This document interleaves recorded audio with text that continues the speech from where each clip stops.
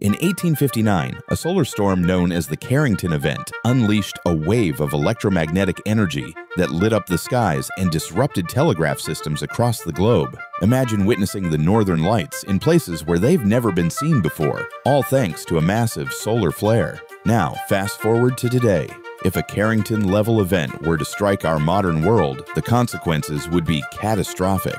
Our reliance on technology means that a single solar storm could wipe out power grids, disrupt satellites, and bring the internet to a grinding halt.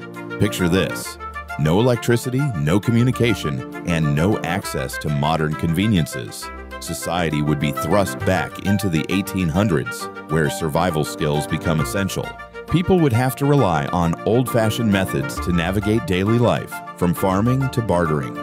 The Carrington event serves as a stark reminder of our vulnerability. As we marvel at our technological advancements, we must also prepare for the unpredictable forces of nature that could change everything in an instant.